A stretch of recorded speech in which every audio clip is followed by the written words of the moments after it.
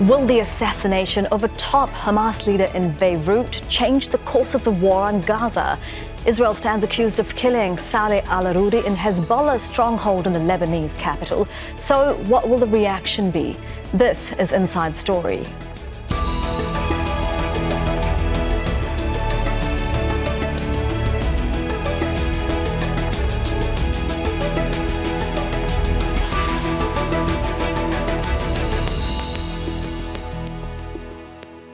Hello and welcome to the program. I'm Elizabeth Puranam.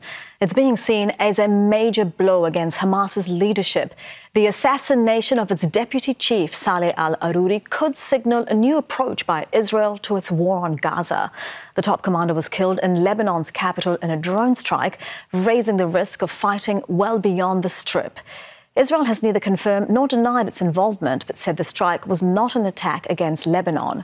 Nearly three months into Israel's war on Gaza, al Arouri's killing will likely intensify hostilities between Israel and Hamas. So, how will this affect the course of the war? And will the conflict expand beyond its existing areas? We'll explore these issues with our guests in a moment. But first, this report by Katia Lopez Hodoyan. The assassination of Hamas's second most powerful commander, Saleh al Aruri, could be a game changer. His killing in a drone strike on Hamas's bureau in Beirut could signal a new front stretching well beyond Israel's war on Gaza. Shortly after his death, Hamas warned it will retaliate. It's an act of terrorism in every sense of the word. It's also a violation of Lebanese sovereignty, a violation that represents an expansion of Israel's aggression against our people and our nation. The Zionist occupation is completely responsible for any repercussions. The Israeli government has not taken responsibility for the strike, but it says all Hamas leaders in or out of the Gaza Strip are targets following the October 7th attacks. As one of the founders of Hamas's military wing, Arouri helped build closer ties between Hamas in Gaza and Hezbollah in Lebanon. His assassination is a blow to both and widely seen as a warning to Iran and its proxies. This is not something that uh, is going to resolve any of the major issues here. If you get a full out war between uh, Hezbollah and Israel, you're going to have a lot of destruction, and both sides are eventually going to have to have a ceasefire. The death of Arouri will likely complicate, if not end, ceasefire negotiations between Israel and Hamas, along with any deals to release hostages. Israel has a long history of killing top Hamas commanders. Now, the strike in the center of Hezbollah's leadership in Lebanon appears to signal a change of military strategy. Across the occupied West Bank, supporters of Arouri called for revenge, saying his death will help strengthen their resistance against Israel. As we always say, uh, one leader is going, more leaders is coming. So this is not the end, and uh, if they killed one of the leaders, more leaders and more uh, Palestinians will take the flag and will continue the, the fighting against this occupation.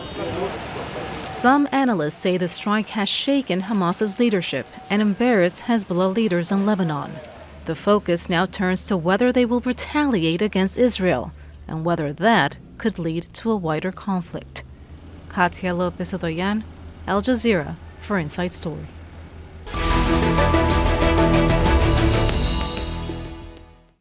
Let's bring in our guests. In Beirut is Maha Yahya, director of the Carnegie Middle East Center. In Tehran is Mohammad Marandi, professor at the University of Tehran. And in Istanbul is Sami Al Arian, director of the Center for Islam and Global Affairs at the Istanbul Zaim University. A very warm welcome to all of you. Ms. Yahya, I'll begin with you in Beirut. How could a drone have carried out this attack in Lebanon? How could it have stayed in Lebanese airspace long enough to have done it? It's clear that there is some sort of a security breach uh, from from what from, the information we've gathered so far. Is that it was a drone attack? It was accompanied by someone on the ground pointing to uh, where the apartment at which uh, Mr. Arouri was at that particular moment. Uh, at least this is the preliminary information we've gathered here. Um, it's it's not that difficult, unfortunately, to breach uh, Lebanese airspace. Uh, in part because of the weakness of aerial defenses in the country. So um, it wouldn't be the, it's not the first time and unfortunately i doubt it will be the last Okay, Mr. Marandi, how is this attack being viewed in Tehran? The killing of an ally, and not just any ally, but the man known as the go between two resistance groups linked to Iran, Hamas and Hezbollah.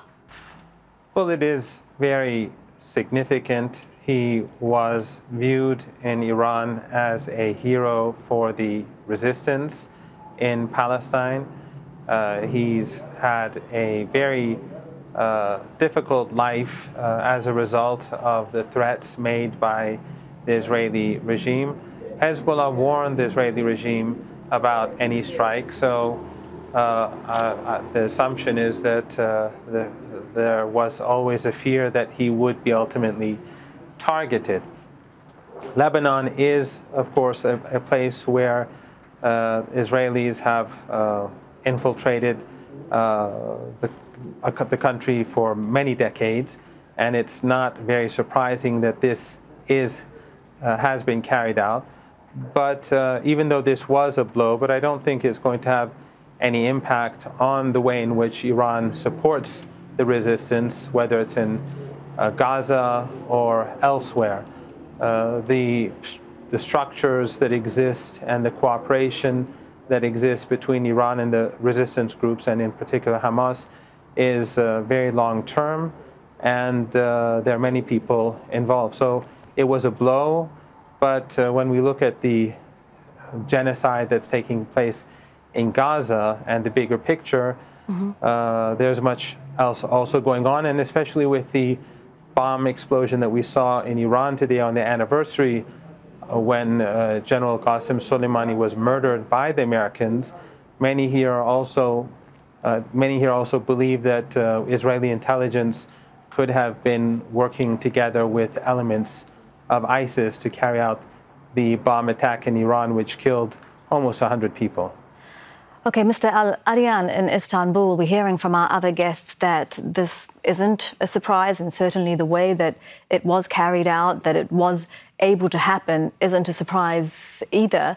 But why do you think that Israel has not taken responsibility for it, despite stating many times that it would do precisely this, that it would target Hamas leaders wherever they are?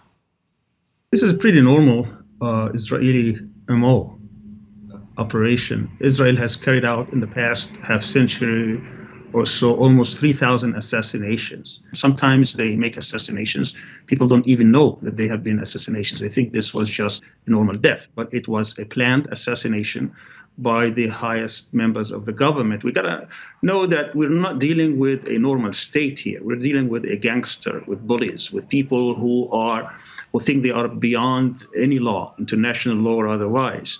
We're talking about people who uh, assassinate people for uh, simply uh, eliminating them as being threat or as sometimes being perceived as a threat. So this is not uh, surprising. And let's uh, keep in mind that uh, the Israeli government, since day one after the October 7th operation, have been threatening that they will go after many Hamas leaders. Mm-hmm. In terms of uh, Mr. Arouri, they also said even before October 7th that he was num- their number one target. All right. Mr. Yahya, how do you expect Hezbollah to respond to this? They have said that this cannot go without punishment. Hezbollah leader Hassan Nasrallah has said in the past that any attempt to assassinate anyone in Lebanon would be crossing a red line.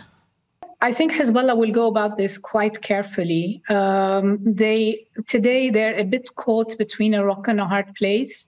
There is a need to respond, especially as this is the first attack in uh, in southern Beirut uh, since 2006 there's been an equation of deterrence where you know you bomb Beirut, we bomb Tel Aviv, you bomb Saida, we bomb Haifa, a kind of a city for city, a citizen for citizen equation. Which frankly, since October 7th, Hezbollah has actually refrained from that, in part because they do not want to escalate matters and do not want to drag Lebanon into an all out war. I think that consideration continues today. Mm-hmm. So I mean, we're going to listen to Said Hassan Nasrallah in two hours. He will be speaking about this. My expectation is that he will exhibit all the anger, all the sorrow uh, uh, at this attack. Let's not forget, I mean, Palestinian leaders were killed, Hamas leaders were killed, but also innocent Lebanese civilians uh, yes. uh, who were either passing by or lived in the same building were also killed or injured. Yeah, you say um, Hezbollah so between, a, between a rock and a hard place. What about the Lebanese government? The Lebanese foreign minister has said that they have told Hezbollah to not respond, that this has to be something that comes from Lebanon itself. Just how difficult a position is the Lebanese government in now?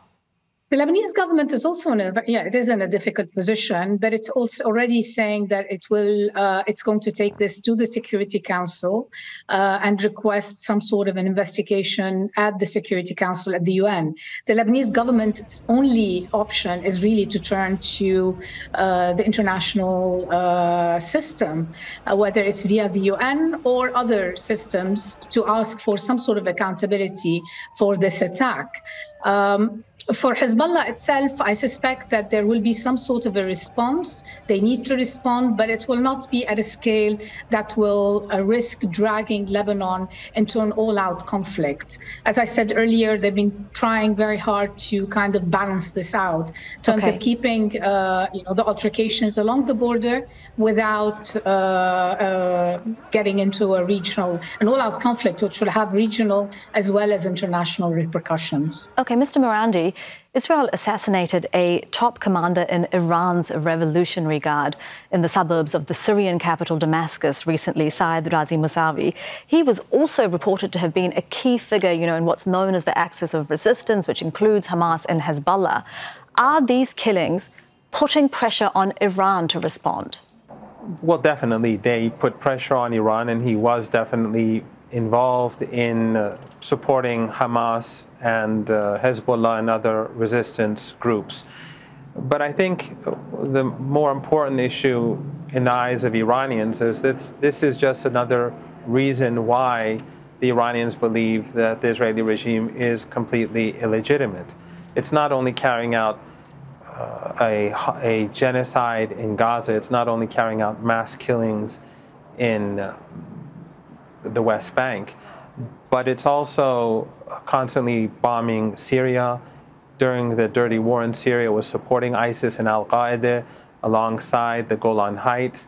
It is it constantly violates Lebanese airspace. It's carried out terrorist attacks in Lebanon, and uh, it, and as you point out, it murdered an Iranian general, and it carries out uh, terrorist attacks in Iran. And right today, many fingers are pointed to the United States and Israel because of their long-standing relationship with elements of ISIS, and they believe that through Afghanistan, most probably, these terrorists came into the country. So the Iranians are saying that this regime is not just a problem for the Palestinian people. It's not just a tragic, uh, a tragedy for the people of Palestine.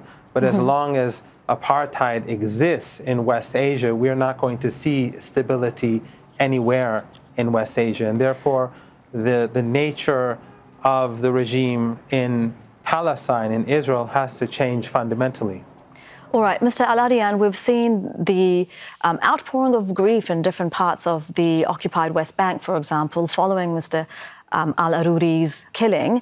How much of a of a loss is he to Hamas, but also to the Palestinian political scene? He was known to have pushed for unity with, within Palestinian factions, with Fatah, for example? Certainly, Sheikh Saleh Arouri has been one of the leading forces for unity among Palestinian groups, particularly with Fatah and other nationalist groups. He's also been the liaison, as been pointed out, with other resistance groups outside Palestine, particularly Hezbollah and Islamic Jihad. He's also been a unifying figure uh, in many instances before, as he was leading Hamas's effort for national unity. So he is considered one of the icons of Palestinian leaders, uh, particularly in the past few years. And he has also been a spokesperson for the uh, West Bank in terms of Hamas. He was leading the Hamas wing uh, across the West Bank, and he was also coordinating among many resistance uh, groups as well as operations within West Bank. So he's being, uh, as I said, it's going to be a great loss. But I think Hamas also has been able to be a disciplined group where they can uh, very quickly replace their leaders. They have mm-hmm. demonstrated this uh, over time, where they can replace uh, leaders who have fallen during the, the, the struggle. Uh, where they can uh, very quickly get other leaders to step in and continue the march towards resistance. Ms. Yahya, given that Hamas can replace its leaders, and many analysts have said since October the 7th that it's Israel's objective of defeating Hamas, eliminating Hamas, they say, is simply not possible. Could Israel be looking for symbolic victories with assassinations such as this? Experience shows us destroying organizations of this nature are practically impossible and definitely not in the way Israel is going about it. A military campaign is not going to bring the end about the end of, a, of an organization such as Hamas. Uh, Israel tried this in 2006 in Lebanon with Hezbollah. We saw where that ended. Um, so I think these kinds of symbolic kills are important to for Israel to say it's doing something. Let's not forget that until this moment, no one really has been held accountable for for what is seen as probably the biggest security breach uh, in in the country uh, in, in, in, decades. Mm-hmm. So there's been no political accountability nor any kind of accountability within the security services. So there is a need to claim uh, some wins and to say we're taking care of the matter, we're addressing this issue beyond bombing the hell out of Gaza. All right. Um, and Israel has declared that all Hamas leadership, whether in Gaza uh, or in, uh, in, in countries around the world, are legitimate, legitimate targets as far as it is concerned. Mr. Marandi, do you think that Israel would go after other Hamas leaders elsewhere in the region, in Qatar, for example, or Turkey, even though Qatar is a, is, has a close relationship with the United States? Turkey is a member of NATO? I wouldn't put anything beyond the Israeli regime, but so far, Turkey or Turkey hasn't done really much against the Israeli regime. They continue to do business as usual. Turkey exports $7 billion of goods to the regime, and oil flows through Turkey uh, from Baku to Israel. So I think that the Israelis would probably like to preserve their relationship with Turkey. Of course, the Iranians have been insisting that Turkey break off that relationship. Mm-hmm. Uh, but I do think what your previous guest may have uh, may be quite true. I don't know what the future holds, but the Israeli regime has lost this war. There's no doubt about it. In Gaza, the resistance, Hamas and its allies, they've done extraordinarily well. Uh, and uh, Yemen is blocking Israeli ports. Hezbollah is forcing 200,000 Israelis to, to leave the north. Mm-hmm. It may be that uh, under pressure, the Israelis were involved in the bomb attack in Iran, and informal sources in Israel could tell the public that we punished Iran, we, t- we murdered a senior Gaza official, and we obliterated Gaza, so that would be a victory, and they would try to uh, ultimately uh, it make the public or try to make the Israeli public yeah. accept this as a victory. Yeah, you, but uh, but again, it remains to be seen what happens in, in the future days and weeks. Yeah, you say that Israel is not winning this war, and yet it's the Palestinians who are paying the biggest price. More than 22,000 Palestinians killed. Most of them women and children. Mr. Al Arian, I could see you wanting to come in earlier. Let me ask you this. How do you think um, Saleh al Arouri's death might impact the negotiations, if not to end the war, but at least a ceasefire, especially given that he was uh, seen as having been involved in the indirect talks, key to in the indirect talks that were mediated by Qatar and Egypt. I think Israel has got on a tree and they don't know how to climb down. That could be the ladder by which they can claim uh, victory and leave. Uh, I wouldn't put a lot of stock on this, but that's one of the theories taking place right now because certainly they couldn't achieve none of the objectives they set out for themselves. They couldn't certainly devastate or end Hamas. Uh, they couldn't uh, uh, uh disarm Hamas. They couldn't win any uh, significant military victory. There are still rockets going on almost from the uh, from Gaza daily, even from the areas where they said they had occupied. They are still not able to free any of their captives in the hands of the resistance. So none of the uh, none of the objectives they set out for themselves they are able to achieve. And the world is tired of the killing, of the genocide, of the maiming, of the destruction that they have wreaked on Gaza. I don't mm-hmm. want to go through all the, the, the destructions have taken place, but certainly the United States now has lost all its moral if it had any in the past, any authority to talk about Ukraine or any other topic on the yeah. face of the earth. And therefore, they're trying to claim something in order to uh, justify what they had done and also in order to say that, okay, let's go to the negotiating table. Now, the resistance has said after the assassination that they broke off any negotiations, and the resistance has been adamant about saying that they will not negotiate under fire, that they need to stop, and there has to be a ceasefire, and also there has to be withdrawal before any kind of negotiations over the captives taking place. Uh, I think there will be a lot of pressure put by the United States on Arab regimes who have been putting a lot of pressure on the resistance. But I think after this assassination, no such pressure would, would, would come through because they know that they cannot trust anything that the Israelis do. And I think I agree with your other speakers is that Israel is, is on the verge of uh, one of the greatest strategic defeats or setbacks. I'm not saying that this is the end of occupation, but I think it has lost so much in this battle. It would be very difficult for them to sustain any kind of uh, hegemonic power that they've had and, and enjoyed in the past. All right. Uh, Mr. Marandi, Mr. Al Arian touched there on the issue of captives. Do you think that by killing Al Arouri, that the Israeli government has taken a gamble with the captives' lives if this assassination means a delay or even the collapse of the negotiations to have their own people held in Gaza released. Yes, it is quite possible that it will do uh, serious damage to the negotiations. As your previous guest pointed out, there are different theories as to why the Israelis did this. But uh, it could be that they, it's the opposite, that Netanyahu for his own pers- personal interests that he carried out this attack in order to stop the negotiations. And of course, that would put Israeli uh, captives at threat because the Israeli regime is bombing all over Gaza. Hamas and its allies have already pointed out that a significant number of the captives uh, mm-hmm. have uh, died as a result. But what interest would Israeli Prime Minister Netanyahu have in stopping the negotiations? Well, Netanyahu knows that if he does not have a very convincing win, and he has lost the war, there's no doubt about it. Uh, if he if he cannot convince the public that he's had some sort of extraordinary victory, uh, he will he will be removed from office, and he will have to face uh, a series of legal issues, and first and foremost, of course, the internal issue of corruption, but also they're going to start asking questions about the defeat that uh, he uh, led the country to. So um, it is quite possible that Netanyahu, mm-hmm. I, mean, I think Netanyahu definitely wants the war con- to continue. So this would be a valid theory within that context.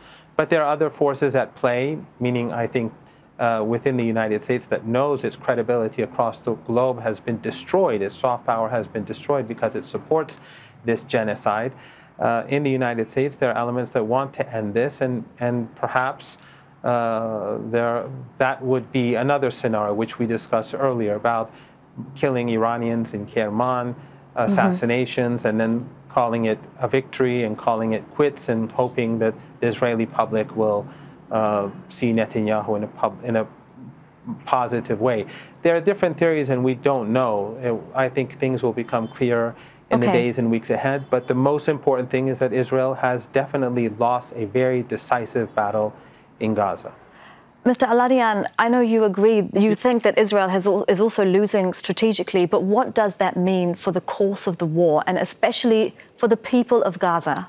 I mean, the people of Gaza have been suffering tremendously. So certainly a, a relief or a ceasefire would, would, go a long way in trying to get the, the supplies needed for the people of Gaza. But there is an, another angle here which Netanyahu has been pushing, which is basically to have a regional war, because I think, as your previous guest has pointed out correctly that he is he is uh, waiting for a corruption trial. He's waiting to be removed from office. So one way to prolong uh, his presence as prime minister is that he wants to have a regional wider war, particularly in the north with Hezbollah and hopefully even with Iran, because he thinks when that happens, the United States would be on his side, in which he can get rid of uh, you know, uh-huh. his perception of Iranian threat the, vis-a-vis the nuclear plants, and also he wants to end the fact that Hezbollah has been a very formidable foe to the north, and he wants to make sure that he can bring back all these settlers that had to leave, and they have vowed they will never go back until he takes care of the of, of, of. Hezbollah. So we, we, we think, a lot of people think, actually, a lot of experts think that part of this, part of the uh, uh, motivation for this operation against Arouri is to drag Hezbollah yeah. into a wider war. And I think that's one of the scenarios. I would give three scenarios pretty quickly 10% for a larger, wider war, and about 30% for a strategic uh, hit by Hezbollah to a strategic uh, target within Israel in which it will be perceived as proper response well, for we this will be. Uh, assassination, or 60% would be a more a measured one in which there will be retaliation, but uh, none of the of the options would be to do nothing. Right. There has to be something, and it could Mr. be in this order. Mr. Al-Arian, thank you very much for those predictions. We will, of course, be watching very closely to see how Hezbollah, how Hamas, how Iran um, retaliate. That weird, that is uh, Sami Al Arian in Istanbul, Mohammad Marandi in Tehran, and earlier Maha Yahya, who was joining us from Beirut. And thank you for watching. You can see the program again anytime by visiting our website, aljazeera.com. And for further discussion, do go to our Facebook page. That's facebook.com forward slash AJ Inside Story.